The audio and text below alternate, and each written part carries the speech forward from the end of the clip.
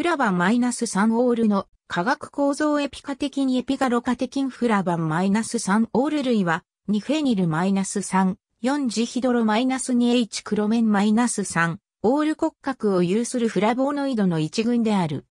代表的なフラバノール類としては、カテキンやカテキンガラートがある。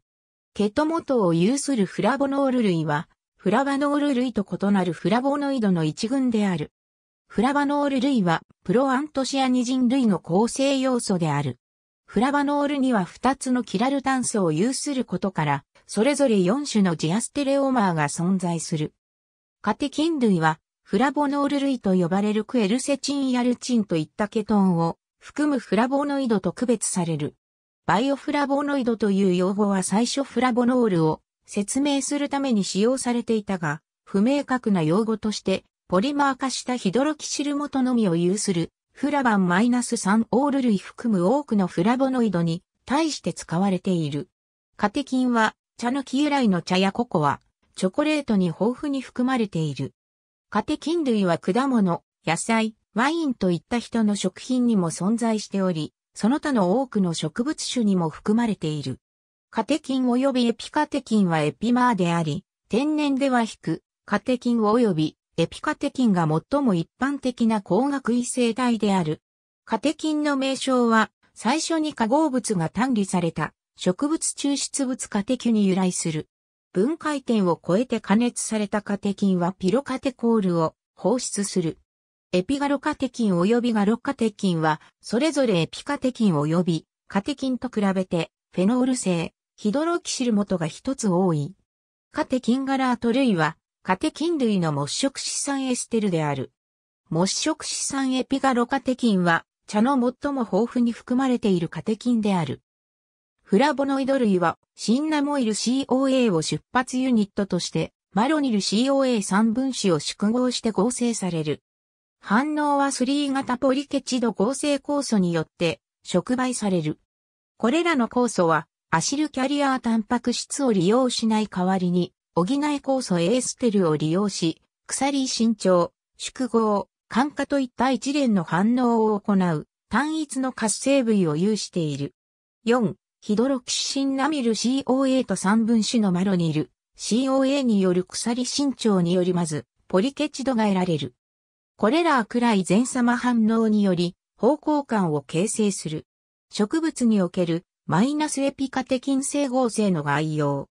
酵素は青で示されており、略称は以下の通り E1、フェニルアラニンアンモニアリアーゼ E2、チロシンアンモニアリアーゼ E3、シンアマート4ヒドロキシラーゼ E4、4クマロイル、COA リガーゼ E5、カルコン合成酵素 E6、カルコンイソメラーゼ E7、フラボノイド3ヒドロキシラーゼ E8、フラボノン3ヒドロキシラーゼ E9、ジヒドロフラバノール4デダクターゼ E10、アントシアニジン合成酵素 E11、アントシアニジンレダクターゼ。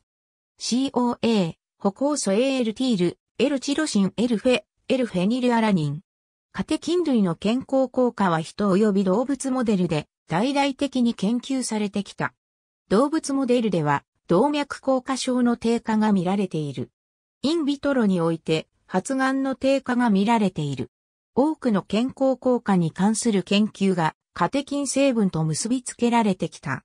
ハーバード大学医学部教授のノーマン・ホロンバーグによれば、エピカテキンは主要な健康問題のうちの4つ、脳卒中、心不全、癌、糖尿病のリスクを低減することができる。ホロンバーグは週にココアを40杯以上飲む習慣のあるパナマのクナ人について研究し、4大疾患の患者数が10%未満であることを発見した。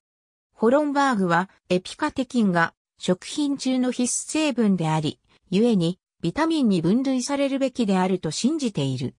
ある研究者によれば、木色資産エピガロカテキンは抗酸化物質であり、皮膚を紫外線照射による損傷や腫瘍形成から保護する助けとなる。カテキン類は習慣的運動と組み合わさったとき、ある種の加齢を遅らせることが明らかにされている。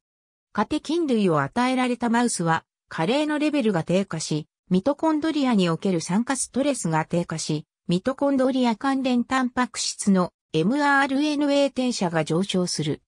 医学誌ザ・ランセッタの論説は、ラベルに表示されることなく、苦味を取り除くために有益な化合物がダークチョコレートから取り除かれている場合があるため、健康の改善のために、このようなチョコレートを摂取する人が増えていることに対して警鐘を鳴らしている。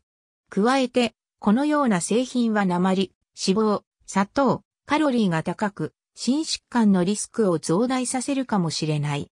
2008年、カリフォルニア大学ロサンゼルス校のがん研究者らは、若干のフラボノイドを含む食事を摂取した患者において、肺がんの発達が妨げられているように見えることを発見した。チャン教授は、最も効果が高いように見えるフラボノイドとして、イチゴ、緑茶、紅茶に含まれるカテキン、芽キャベツ及びリンゴに含まれるケンフェロール、豆類、玉ねぎ、リンゴに含まれるクエルセチンを挙げている。果物や野菜、核。ありがとうございます。